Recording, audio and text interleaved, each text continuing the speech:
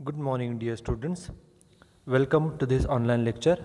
I am Mr. Rahul Pawar. In today's lecture, we are going to study the meaning of exempted incomes and different exempted incomes under Section 10 of Income Tax Act. आजच्या या लेक्चरमध्ये आपण exempted incomes म्हणजे काय आणि section ten प्रमाणे कोणकोणते incomes हे एक्झम्प्टेड इन्कम्स आहेत हे आपण या आजच्या लेक्चरमध्ये पाहणार आहोत first we will start with the what is the meaning of exempted income सुरुवातीला आपण एक्झम्प्टेड इन्कम म्हणजे काय? इथपासून याची सुरुवात करणार आहोत.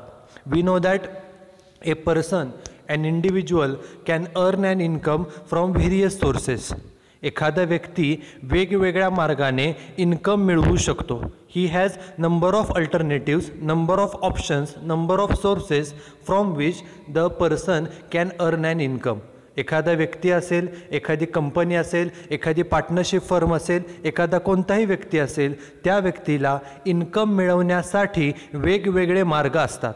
आणि हे जे इन्कम व्यक्ती मिळवतो ओके या इन्कमवरती जो गव्हर्नमेंटला टॅक्स पेड केला जातो त्याला इन्कम टॅक्स असं म्हटलं जातं. So what is income tax income tax is nothing but tax paid on the income earned during the previous year आपण प्रिव्हियस इयरमध्ये वर्षभरामध्ये जे काही उत्पन्न मिळवलेलं आहे जे काही इन्कम मिळवलेलं आहे त्या इन्कमवरती जो टॅक्स पेड केला जातो गव्हर्मेंटला त्या टॅक्सला इन्कम टॅक्स असं म्हटलं जातं. So generally the income tax is payable on all the incomes earned by an individual normally आपण असं म्हणू शकतो की कोणतंही इन्कम मिळालं असेल तर त्या इन्कमवरती गव्हर्मेंटला इन्कम टॅक्स हा पेड करावा लागतो. परंतु असे काही इन्कम्स असतात की इन्कम मिळालं आहे परंतु त्या इन्कमवरती गव्हर्मेंटला टॅक्स पेड करावा लागत नाही अशा इन्कम्सला एक्झम्प्टेड इन्कम्स असं म्हटलं जातं. So what is exempted income exempted income means those incomes on which no tax is payable to the government असे काही इन्कम्स आहेत की इन्कम त्या व्यक्तीला मिळालेलं आहे परंतु मिळालेल्या इन्कमवरती गव्हर्मेंटला कोणताही टॅक्स द्यावा लागत नाही अशा इन्कम्सला एक्झम्प्टेड इन्कम्स असं म्हटलं जातं. ओके? मग डेफिनेशन काय सांगितलं बघा? What is the meaning of exempted income exempted incomes means those incomes on which a person is not required to pay tax to the government असे काही इन्कम्स असतात की त्या इन्कमवरती गव्हर्मेंटला कोणताही टॅक्स द्यावा लागत नाही. इन्कम त्या व्यक्तीला मिळालं आहे आणि त्या ज्या इन्कम मिळालं आहे त्या इन्कमवरती कोणताच टॅक्स द्यायचा नसतो. त्या इन्कम्सला एक्झाम्प्टेड इन्कम्स असं म्हटलं जातं. And the list of such exempted incomes is given under section ten of income tax act income tax कायदा जो आहे या कायद्यामधील जो सेक्शन टेन आहे त्या सेक्शन टेनमध्ये हे एक्झम्प्टेड इन्कम्स कोणकोणते याची यादी ही दिलेली आहे. Sometimes this question is asked that exempted incomes are given under section dot dot dot. Exempted incomes कोणत्या सेक्शनमध्ये आहेत? तर section ten of income tax act या सेक्शनमध्ये इन्कम टॅक्स सॉरी एक्झम्प्टेड इन्कमची यादी आपल्याला दिलेली आहे. नॉर्मली काय होतं की इन्कम मिळालं की त्या इन्कमवरती टॅक्स हा द्यावाच लागतो. परंतु असे काही इन्कम्स आहेत स्पेसिफिकली मेन्शन केलेले की त्या इन्कमवरती कोणताही टॅक्स गव्हर्मेंटला द्यावा लागत नाही. त्या इन्कम्सला एक्झम्प्टेड इन्कम्स असं म्हटलं जातं. So the meaning of exempted incomes is those incomes on which no tax is payable to the government these incomes are exempted from tax exempted from tax means कर माफ.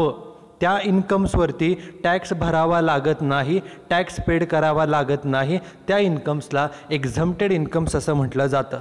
Now after studying the meaning of exempted income now we will see what are the different exempted incomes under section ten of income tax act आत्ता आपण exempted इन्कमचं meaning पाहिलेलं आहे. यानंतर कोणकोणते incomes हे exempted आहेत? हे आपण आता पा पाहणार आहोत. त्यामध्ये जे पहिले एक्झम्प्टेड इन्कम आहे first exempted income in India is agricultural income obtained from a land situated in India okay in simple words any person earning and income by doing agricultural activities एखाद्या व्यक्तीने शेती करून काही इन्कम मिळवलं असेल तर हे जे शेतीचं उत्पन्न आहे ते उत्पन्नावरती कोणताही टॅक्स गव्हर्मेंटला द्यावा लागत नाही. And therefore it is called as a exempted income आपल्या देशामध्ये आपल्याला माहिती आहे आपल्या देशातील मेजॉरिटी लोकसंख्या अजून देखील शेतीवरती अवलंबून आहे. Still today also more than sixty percent of total population of our country is depend upon the agricultural sector and overall the health the condition of agricultural sector is average or is weak. And therefore government has made a rule that if any person earns certain income by doing agricultural activities is exempted from tax okay? त्यामुळे गव्हर्नमेंटनं नियम केलेला आहे कोणत्याही व्यक्तीला शेतीच्याद्वारे जे काही income मिळेल शेती करून जे इन्कम मिळेल ते इन्कम एक्झम्प्टेड इन्कम मानलं जातं. एक्झम्प्टेड इन्कम मानलं जातं म्हणजेच त्या इन्कमवरती त्या शेतकऱ्याला गव्हर्मेंटला टॅक्स द्यावा लागत नाही.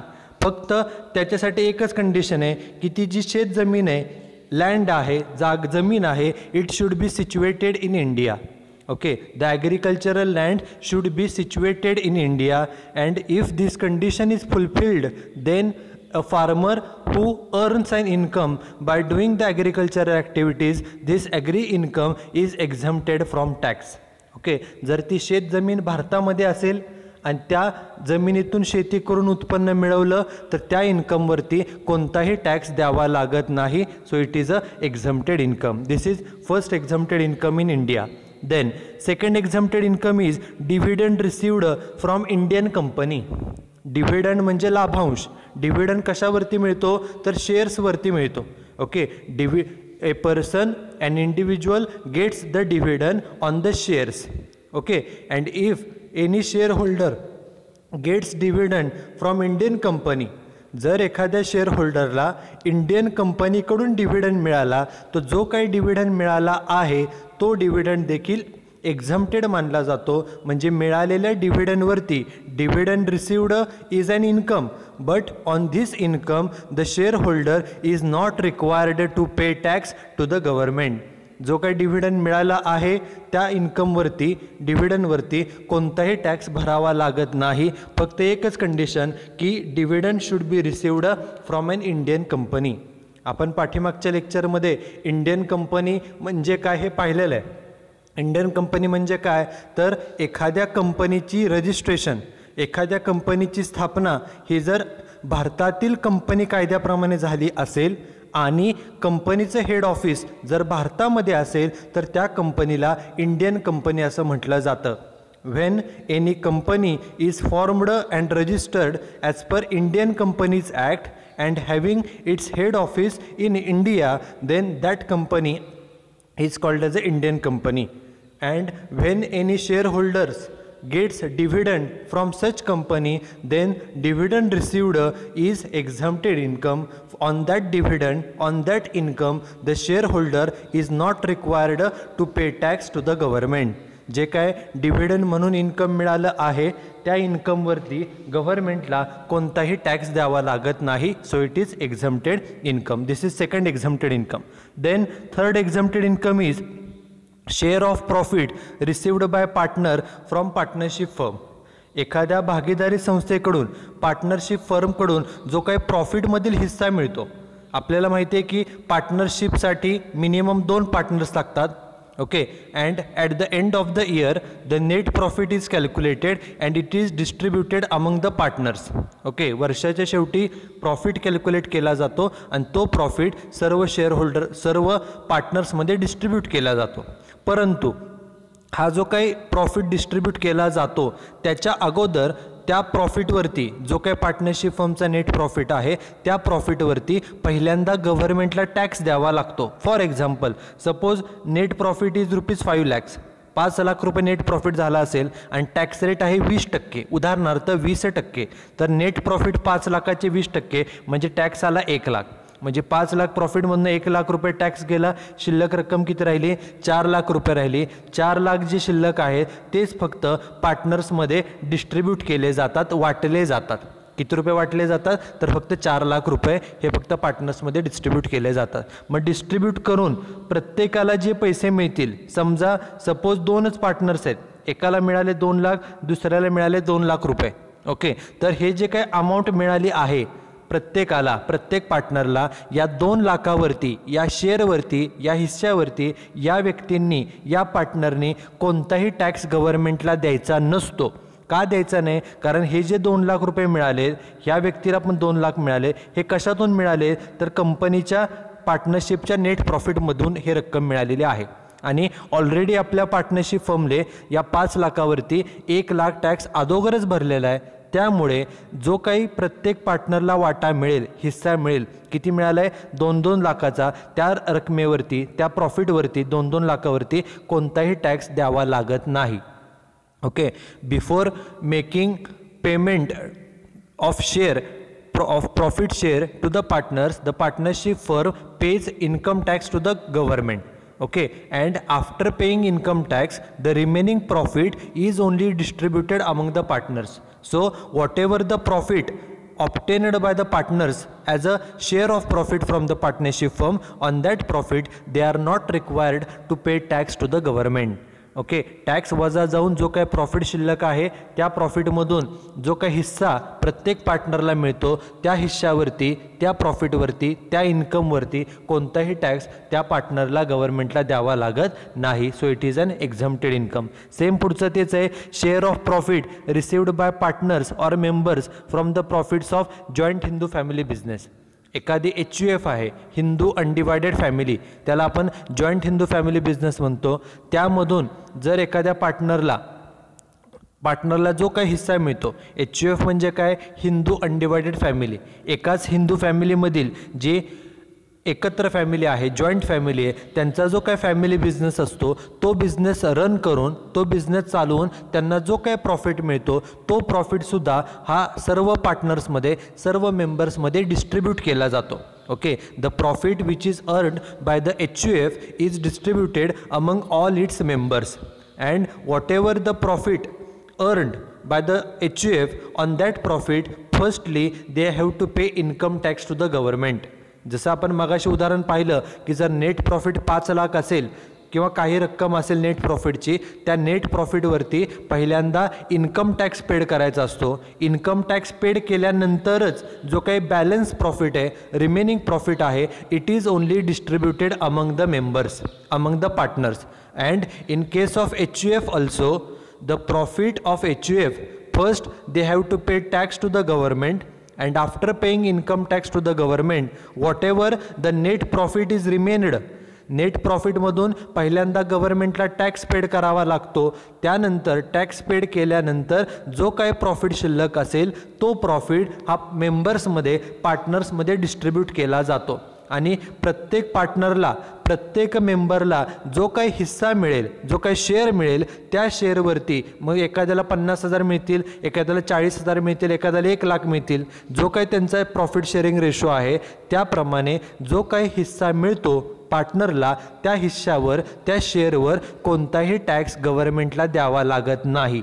सो इन्कम मिळालं एका एखाद्या मेंबरला चाळीस हजार रुपये मिळाले एखाद्याला साठ हजार मिळाले पैसे मिळाले हे इन्कम आहे आणि या इन्कमवरती गव्हर्नमेंटला टॅक्स द्यावा लागत नाही and therefore it is called as a exempted income okay आणि टॅक्स का द्यावा लागत नाही? मगाशी सांगितलेलं आहे की प्रत्येक एच यू एफ जो काही त्यांचा नो नेट प्रॉफिट आहे त्या नेट प्रॉफिटवरती ऑलरेडी त्यांनी टॅक्स हा पेड केलेला असतो. त्यामुळे नेट प्रॉफिटमधूनच प्रत्येक पार्टनरला प्रत्येक मेंबरला हिस्सा मिळत असतो. त्यामुळे पुन्हा टॅक्स भरावा लागत नाही. So it is an exempted income this is exempted income number four now the next exempted income the next exempted income is L I C policy amount received on the death or maturity of policy बघा L I सीची एखाद्या व्यक्तीची policy असेल life insurance कॉर्पोरेशनकडून L I C policy जर असेल पॉलिसीची रक्कम त्या पॉलिसी होल्डरला कधी दिली जाते? तर पॉलिसीची मुदत संपल्यानंतर किंवा policy होल्डरची death whichever is earlier okay ही जे काय पॉलिसीची रक्कम मिळते त्या रकमेवरती ते जे काय पैसे मिळतात मग ते दोन लाख असतील पन्नास हजार असतील एक लाख चार लाख दहा लाख. ओके चार लाखापर्यंत. पाच लाखापेक्षा नियम काय बघा? If any person gets L I C policy amount okay and if that amount is less than rupees five lakhs जर ती मिळालेली रक्कम पाच लाखापेक्षा कमी असेल तर जे मिळालेले पैसे आहेत पैसे मिळाले हे इन्कम आहे आणि या इन्कमवरती कोणताही टॅक्स द्यावा लागत नाही. So it is an exempted income okay exempted income का आहे? कारण की जे काही पैसे मिळालेले आहेत त्या इन्कमवरती त्या पैशावरती कोणताही टॅक्स गव्हर्नमेंटला द्यावा लागत नाही. So it is called as a exempted income this is exempted income number five After that, the next exempted income is daily allowance received by member of parliament and member of legislative assembly. M P member of parliament म्हणजे खासदार आणि member of legislative assembly म्हणजे आमदार आपल्याला माहिती आहे प्रत्येक तालुक्याला एक आमदार असतात आणि प्रत्येक जिल्ह्याला खासदार असतात ओके? मग हे जे आमदार आहेत खासदार आहेत ज्या वेळेला त्यां पार्लमेंटचं सेशन चालू असतं विधानसभेचं सेशन चालू असतं त्यावेळेला तिथं हजर राहण्याबद्दल त्यांना डेली अलाउन्स हा दिला जातो. The member of parliaments as well as the member of legislative assembly gets daily allowance for attending the sessions of parliament or legislative assembly okay विधानसभा असो किंवा लोकसभा असो याचे सेशन अटेंड करण्याबद्दल त्यांना अटेंड केल्याबद्दल त्यांना डेली भत्ता दैनंदिन भत्ता दिला जातो. ते जे काय त्यांना दिवसाला पैसे मिळतात ओके ते पैसे हे जे त्यांचं इन्कम आहे त्या इन्कमवरती त्यांना कोणताही टॅक्स गव्हर्नमेंटला द्यावा लागत नाही. So it is called as a exempted income okay this is exempted income number six Then, next exempted income is interest on national saving certificates eighth issue. एखाद्या व्यक्तीने नॅशनल सेव्हिंग सर्टिफिकेट्स ज्याला N S C असं म्हटलं जातं त्याच्या आठव्या इशूमध्ये जर गुंतवणूक केली तर त्या गुंतवणुकीवरती त्या व्यक्तीला इंटरेस्ट म्हणजे व्याज मिळतं आणि त्या व्याजावरती देखील जे व्याज मिळालं आहे interest received is an income and on this income the person is not required to pay tax to the government Then the next exempted income in India is interest on post office saving bank account बघा आपण normally एखाद्या बँकेमध्ये account open करतो saving account saving account म्हणजे बचत खाते. आपल्याला माहिती आहे की आपण बँकेमध्ये वेगवेगळ्या प्रकारचे अकाउंट ओपन करू शकतो. Saving account current account recurring account fix deposit account etcetera etcetera परंतु बँकेमध्ये जर अकाउंट ओपन केलं आणि त्या बँकेमध्ये जर आपले पैसे असतील त्या पैशावरती जे काही आपल्याला व्याज मिळतं interest received from bank is taxable in in India आपल्याला बँकेकडून जे व्याज मिळतं त्या व्याजाच्या रकमेवरती इंटरेस्टवरती आपल्याला गव्हर्नमेंटला टॅक्स द्यावा लागतो. उदाहरणार्थ एखाद्या व्यक्तीनं एक लाख रुपये जर समजा अकाउंटमध्ये असतील बँकेमध्ये आणि त्याच्यावरती काही व्याज मिळालं आठ टक्क्यानं फॉर एक्झाम्पल एफ डी केली आहे फिक्स्ड डिपॉझिट आठ टक्क्यानं आठ हजार रुपये व्याज मिळालं तर त्या व्याजावरती आपल्याला गव्हर्नमेंटला टॅक्स द्यावा लागतो. ओके? म्हणजे ते टॅक्सेबल इन्कम आहे. मग जर टॅक्स वाचवायचा असेल तर आपल्याला पर्याय काय? Instead of opening a bank account account in a bank we should open a account a saving account in a post office आपण जर पोस्ट ऑफिसमध्ये सेविंग अकाउंट ओपन केलं आणि ते पैसे जर पोस्ट ऑफिसमध्ये सेव्ह केले तर पोस्ट ऑफिससुद्धा जेवढं बँक आपल्याला व्याज देते तेवढंच व्याज आपल्याला पोस्ट ऑफिससुद्धा देतं. आणि फायदा हा असतो की पोस्ट ऑफिसमधून पोस्ट ऑफिसमध्ये जे सेव्हिंग अकाउंट आहे बचत खाते आहे त्यामधून आपल्याला जे व्याज मिळतं त्या व्याजावरती त्या इन्कमवरती आपल्याला कोणताही टॅक्स गव्हर्मेंटला द्यावा लागत नाही. ओके जे इंटरेस्ट मिळेल व्याज मिळेल interest on post office saving bank account is totally exempted in India आपल्या देशामध्ये पोस्ट ऑफिस सेव्हिंग बँक अकाउंटवरून पोस्ट ऑफिस सेव्हिंग अकाउंटमधून जे व्याज मिळतं ते पूर्णपणे एक्झम्प्टेड आहे. त्यावरती कोणताही टॅक्स गव्हर्नमेंटला द्यावा लागत नाही. Okay this is exempted in India then next exempted income is scholarship received for meeting educational expenses एखाद्या व्यक्तीला स्कॉलरशिप मिळाली. ओके कशासाठी? तर for meeting the education expenses शिक्षणाचा खर्च. भागविण्यासाठी एखाद्या व्यक्तीला म्हणजे विद्यार्थ्याला जर स्कॉलरशिप मिळाली असेल मग ती स्कॉलरशिप कुणाकडूनही मिळू. The scholarship can be received from local authority from state government from central government from any government office or from any private office scholarship when the scholarship is received for educational purpose then the amount received okay scholarship म्हणून जी काही रक्कम मिळाली आहे पैसे मिळाले आहेत पैसे मिळाले हे इन्कम आहे परंतु या इन्कमवरती गव्हर्मेंटला कोणताही टॅक्स द्यावा लागत नाही.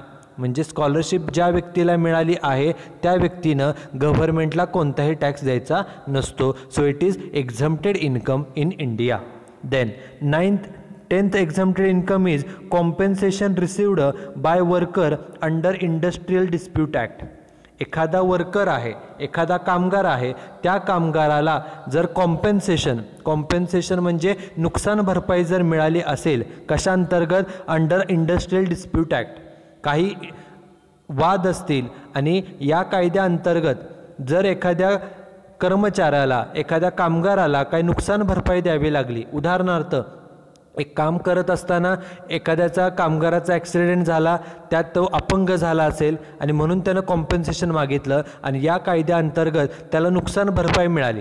नुकसान भरपाई मिळाली ते जे काही पैसे मिळालेले आहेत हे त्याला या कायद्याअंतर्गत जर मिळाले असतील इंडस्ट्रीयल डिस्प्यूट ॲक्ट अंडर जर मिळाले असतील तर त्या रकमेवरती त्या वर्करनी गव्हर्मेंटला कोणताही टॅक्स द्यायचा नसतो. When any worker gets compensation amount under the Industrial Dispute Act, then whatever amount he has received on that particular amount, he is not required to pay tax to the government. एखादा कर्मचारी आहे एखादा कामगार आहे त्या कामगाराला या कंपनीकडून नुकसान भरपाई म्हणून काही रक्कम मिळाली असेल पैसे मिळाले हे इन्कम आहे परंतु या इन्कमवरती त्या व्यक्तीनं त्या कामगाराने कोणताच टॅक्स भरायचा नसतो. इन्कम तर मिळालं आहे परंतु टॅक्स पेड करायचा नाही so it is called as a exempted income this is tenth exempted income then next exempted income is any compensation received on account of disasters like earthquake flood etcetera एखाद्या व्यक्तीला compensation मिळालं. Compensation म्हणजे नुकसान भरपाई मिळाली. कशाबद्दल? On account of disaster disaster म्हणजे आपत्ती.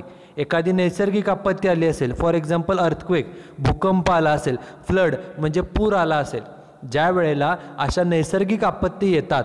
When such type of disasters occurs then many peoples lose their valuable things lose their valuable properties अशा प्रकारच्या आपत्तीमुळे कित्येक लोकांना स्वतःच्या जे काय प्रॉपर्टीज आहेत स्वतःच्या ज्या वस्तू आहेत स्वतःचे जे काही संपत्ती आहे त्याचं नुकसान होतं. आणि नुकसान भरपाई म्हणून as a compensation the government it is the responsibility of the government of the local authorities to give certain compensation to the affected peoples जे कोण अफेक्टेड लोक आहेत जे ज्यांना त्रास झालेला आहे या नैसर्गिक आपत्तीमुळे ज्यांचं नुकसान झालेलं आहे अशा लोकांना नुकसान भरपाई देणं हे राज्य सरकार असो केंद्र सरकार असो लोकल अथॉरिटी असो यांचं काम असतं. आणि नियम असा आहे की जर एखाद्या व्यक्तीला अशा नैसर्गिक आपत्ती बद्दल आपत्ती झाल्यानंतर जर काही नुकसान भरपाई मिळाली स्टेट गव्हर्मेंटकडून सेंट्रल गव्हर्मेंट किंवा लोकल अथॉरिटीकडून जर काही नुकसान भरपाई मिळाली असेल तर त्या रकमेवरती जी काय कॉम्पेन्सेशन मिळालं आहे whatever the compensation amount received on that amount the person the individual is not required to pay tax to the government जे काही नुकसान भरपाईची रक्कम मिळाली आहे त्या रकमेवरती कोणताही टॅक्स गव्हर्मेंटला द्यायचा नसतो. So it is exempted income then next few incomes are relating to interest income for example interest received on post office cash certificates duration is five years okay when any person makes investment in the post office cash certificates जर एखाद्या व्यक्तीने post ऑफिसमधील cash certificates जर खरेदी केले ज्याची मुदत पाच वर्ष आहे तर त्यावरती जे काही व्याज मिळेल व्याज मिळालं हे इन्कम आहे परंतु या इन्कमवरती कोणताही टॅक्स गव्हर्नमेंटला द्यावा लागत नाही. ओके त्यानंतर पुढचं आहे interest on national plan certificates duration is ten years एखाद्या व्यक्तीने नॅशनल प्लॅन सर्टिफिकेट्स राष्ट्रीय योजनापत्र यामध्ये गुंतवणूक केली ज्याची मुदत दहा वर्ष आहे तर प्रत्येक वर्षी जे व्याज मिळतं व्याज मिळालं हे इन्कम आहे परंतु या इन्कमवरती कोणताही टॅक्स द्यायचा नसतो so it is exempted income okay then next exempted income is interest on national plan cert saving certificates duration twelve years okay national plan राष्ट्रीय योजना बचतपत्र. ओके. जे मुदत बारा वर्षाची आहे बारा वर्षानंतर बारा वर्षामध्ये प्रत्येक वर्षी तुम्हाला व्याज मिळेल. बारा वर्ष झाले की तुमचे सगळे पैसे तुम्हाला परत केले जातात. ओके. पण बारा वर्ष दरवर्षी जे काही व्याज मिळतं व्याज मिळालं हे इन्कम आहे आणि या इन्कमवरती कोणताही टॅक्स गव्हर्मेंटला पेड करायचा नसतो. So it is exempted income okay. When any income is earned and if on that income if we are not required to pay tax to the government then that income is called as a exempted income आपल्याला एखादं income मिळालं आहे परंतु त्या मिळालेल्या इन्कमवरती जर आपल्याला कोणताही टॅक्स पेड करायचा नसेल पेड करावा लागत नसेल तर त्या इन्कमला एक्झम्प्टेड इन्कम असं म्हटलं जातं. Another one exempted income is interest on post office national saving certificates having a duration of twelve years एखाद्या व्यक्तीने पोस्ट ऑफिसच्या नॅशनल सेव्हिंग सर्टिफिकेट्समध्ये जर गुंतवणूक केली असेल राष्ट्रीय बचत पत्र जे पोस्ट ऑफिसमध्ये मिळतात ज्याची मुदत बारा वर्ष आहे यामध्ये गुंतवणूक केली असेल तर त्या गुंतवणुकीवरती कोणताही टॅक्स गव्हर्मेंटला द्यावा लागत नाही.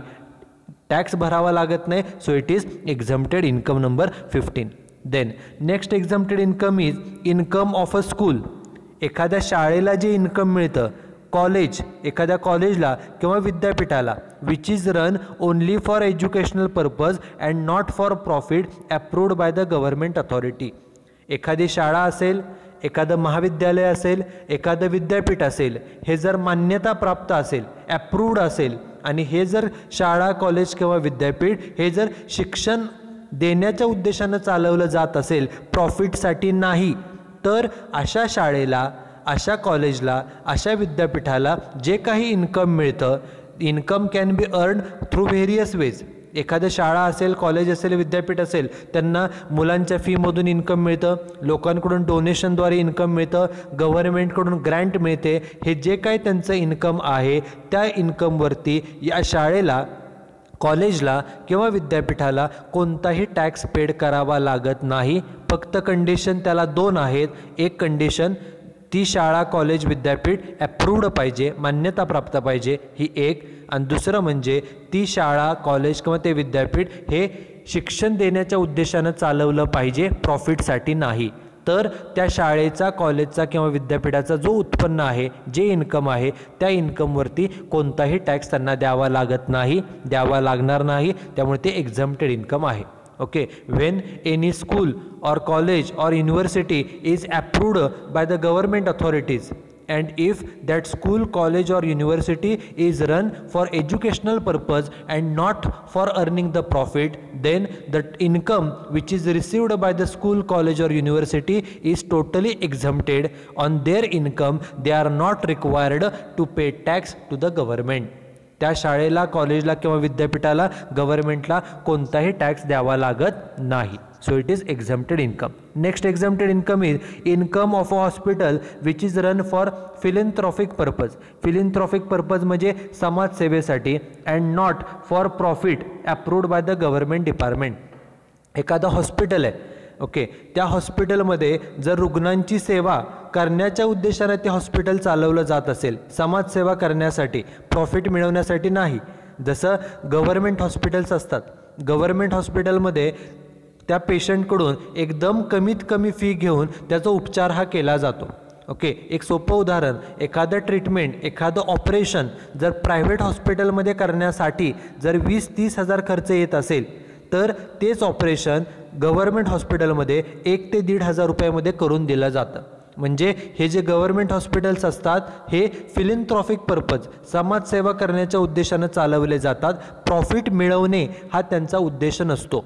Okay and if that particular hospital is run for philanthropic purpose and if it is approved by the government authorities then the income which is earned by that particular hospital is totally exempted income त्या हॉस्पिटलला जे काही income मिळत असेल गव्हर्नमेंटकडून Grant मिळते हे income आहे. पेशंटकडून जे काय थोडीफार फी घेतली जाते हे इन्कम आहे. लोकांकडून डोनेशन्स मिळतात हे त्यांचं इन्कम आहे. या इन्कमवरती त्यांना कोणताही टॅक्स भरावा लागत नाही. फक्त कंडिशन दोन एक म्हणजे ते हॉस्पिटल फिलिंथ्रॉफिक पर्पज समाजसेवा करण्याच्या उद्देशानं चालवलं पाहिजे. प्रॉफिटसाठी नाही. आणि दुसरा the hospital should be approved from the government authorities government department ते हॉस्पिटल मान्यताप्राप्त असणं गरजेचं आहे. असं जर असेल तर त्या हॉस्पिटलचं जे इन्कम आहे त्या इन्कमवरती कोणताही टॅक्स पेड करावा लागत नाही. Then the next exempted income is income of registered trade union from house property and from interest on securities एखादी रजिस्टर्ड नोंदणीकृत ट्रेड युनियन असेल संघटना असेल या संघटना कशासाठी असतात? These unions are these unions works for the welfare of its members okay त्यांचे जे कोण मेंबर्स आहेत सभासद आहेत त्यांच्या कल्याणासाठी या युनियन्स ह्या काम करत असतात. ओके त्यांचा ऑब्जेक्ट काय प्रॉफिट मिळवणं नसतो. तर जे मेंबर्स आहेत जे वर्कर्स आहेत त्यांचं वेलफेअर करणं त्यांच्या कल्याण करणं यासाठी या युनियन्स ह्या काम करत असतात. त्यामुळे या युनियनला या ट्रेड युनियनला जे काही हाऊस प्रॉपर्टीमधून इन्कम मिळेल किंवा इंटरेस्टद्वारे जे काही इन्कम मिळेल त्या इन्कमवरती त्यांना कोणताही टॅक्स गव्हर्नमेंटला द्यावा लागत नाही. टॅक्स पेड करावा लागत नाही so it is exempted income. आता या ट्रेड युनियनना इन्कम कुठून मिळतं? तर जे काही त्यांचे मेंबर्स आहेत त्यांच्याकडून दर वर्षाला मेंबरशिप फी घेतली जाते. मग ह्या फीमधून या पैशामधून ते एखादी हाऊस प्रॉपर्टी परचेस करतात काही इन्व्हेस्टमेंट करतात फ्युचरसाठी या मधून हाऊस प्रॉपर्टीमधून किंवा इन इन इन्व्हेस्टमेंटमधून जर काही त्यांना व्याज मिळालं तर त्या इन्कमवरती त्यांना कोणताही टॅक्स गव्हर्नमेंटला पेड करावा लागत नाही. So it is exempted income then the next exempted income is compensation received by employee एखाद्या कर्मचाऱ्याला नुकसान भरपाई मिळाली. कशाबद्दल? For taking retirement under voluntary retirement scheme up to rupees five lakhs बघा एखाद्या व्यक्ती नॉर्मली वयाच्या अठ्ठावन्न किंवा साठाव्या वर्षी रिटायर होतो.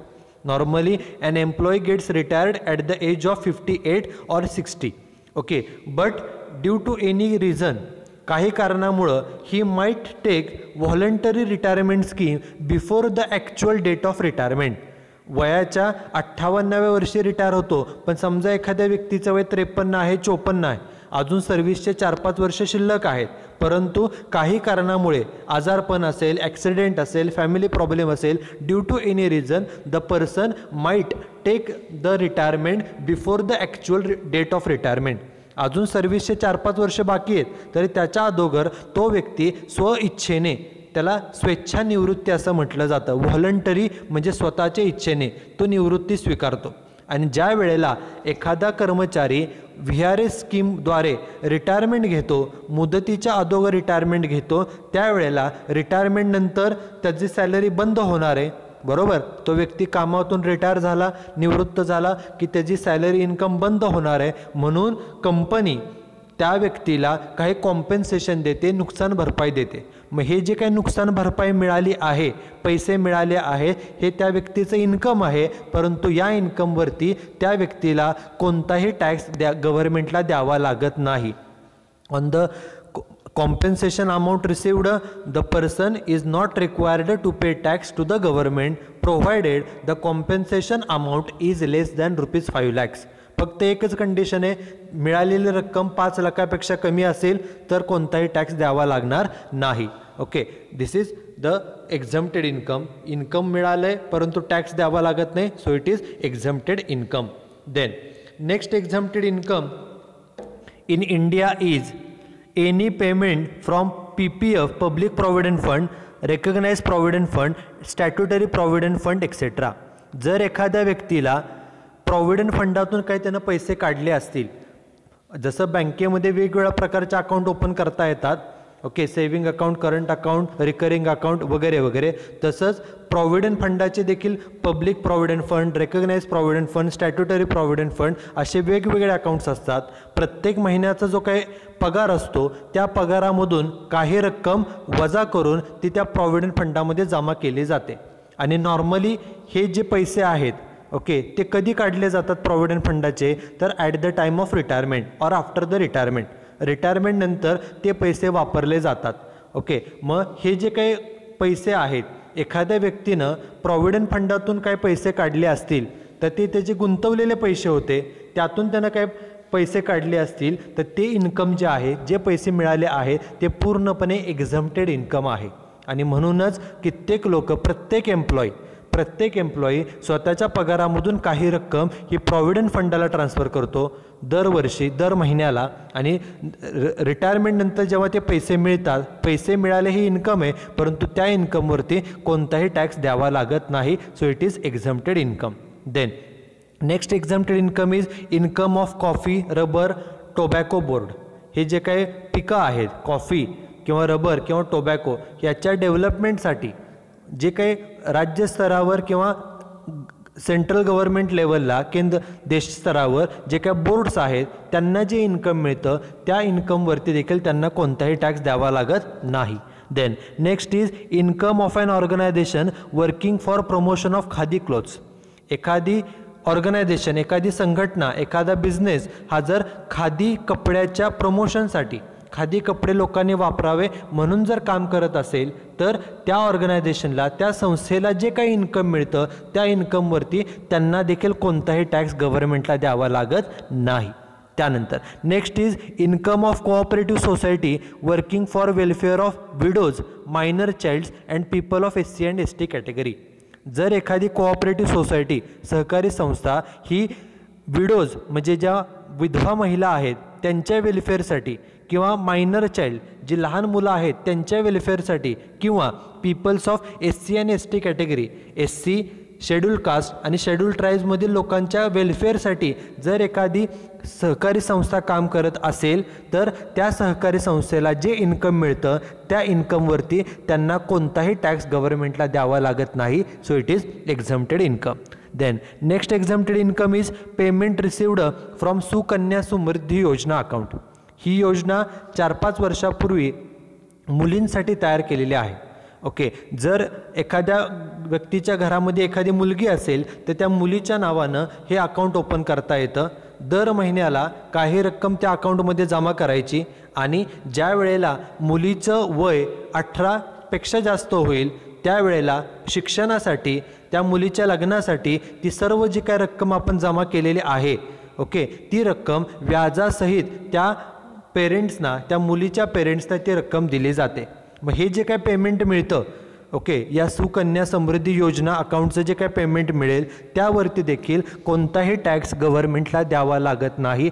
पैसे मिळाले ही इन्कम आहे परंतु या इन्कमवरती कोणताही टॅक्स गव्हर्नमेंटला द्यावा लागत नाही so it is exempted income then the next exempted income is prize money received on account of gallantry awards एखाद्या व्यक्तीला प्राईज म्हणजे बक्षीस मिळालं कशाचं? गॅलेंट्री अवॉर्ड्स गॅलेंट्री म्हणजे वीरता पुरस्कार.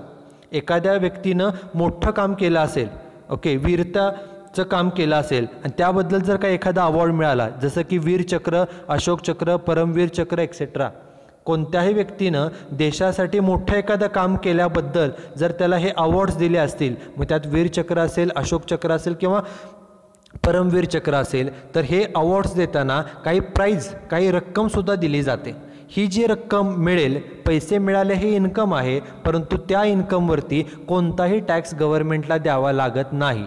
ओके कारण एखाद्या व्यक्तीनं देशासाठी मोठं काम केलं म्हणून त्यांना हे प्राईज दिलं आहे त्यामुळे त्या रकमेवर त्या इन्कमवर कोणताही टॅक्स द्यावा लागत नाही so it is exempted income then next exempted income is family pension received by the family members of armed forces okay armed forces म्हणजे आर्मी असेल नेव्ही असेल. ओके त्यांच्या मध्ये काम करणारा एखादा व्यक्ती जर सेवेमध्ये असताना नोकरीमध्ये असताना जर तो शहीद झाला जर त्याची डेथ झाली तर मृत्यूनंतर त्याच्या फॅमिलीला काही पेन्शन दिली जाते. त्याला फॅमिली पेन्शन म्हणतात. मग फॅमिली पेन्शन जी काही मिळते त्या इन्कमवरती त्या फॅमिलीला कोणताही टॅक्स गव्हर्नमेंटला द्यायचा नसतो. So it is exempted income then next is income from one palace of ex ruler एखादा राजा असेल जो अगोदरच्या काळामध्ये काही वर्षांपूर्वी ते राजा होता ते व्यक्ती राजा होते तर त्यांचा एखादा पॅलेस म्हणजे राजवाडा ओके त्या राजवाड्याचं इन्कम जो काय असेल त्याच्यावरती देखील त्यांना टॅक्स द्यावा लागत नाही. This is exempted income the next is income of local authorities under the head income from house property एखादी लोकल अथॉरिटी आहे म्हणजे ग्रामपंचायत नगरपालिका महानगरपालिका यांना हाऊस प्रॉपर्टीमधून कॅपिटल गेनमधून किंवा अदर सोर्सनं जे इन्कम मिळतं त्यावरती त्या लोकल अथॉरिटीला देखील कोणताही टॅक्स गव्हर्नमेंटला द्यावा लागत नाही. Then next is income of registered scientific research association एखादी सायंटिफिक रिसर्च करणारी रजिस्टर्ड असोसिएशन आहे नोंदणीकृत संघटना आहे. आणि ती संघटना जर नोंदणीकृत असेल आणि ती जर सायंटिफिक रिसर्च करण्याचं काम करत असेल तर त्या असोसिएशनला संघटनेला जे इन्कम मिळतं त्या इन्कमवरती देखील त्यांना कोणताही टॅक्स गव्हर्नमेंटला द्यावा लागत नाही. And last exempted income is income received from regimental fund established by the armed forces for the welfare of armed forces okay आर्मीमधल्या लोकांनी आर्मीमधल्या लोकांच्या वेलफेअरसाठी हा फंड तयार केलेला आहे. या फंडमधून एखाद्या व्यक्तीला काही मदत केली असेल तर जे काही पैसे मिळाले आहेत त्या व्यक्तीला जे काही पैसे मिळाले आहेत त्या पैशावरती त्या इन्कमवरती कोणताही टॅक्स द्यावा लागत नाही. So it is exempted income okay these are the thirty exempted incomes in India In today's lecture, we have seen the meaning of exempted income and different exempted incomes under section 10 of Income Tax Act. Okay, so that's it with today's lecture. Thank you very much.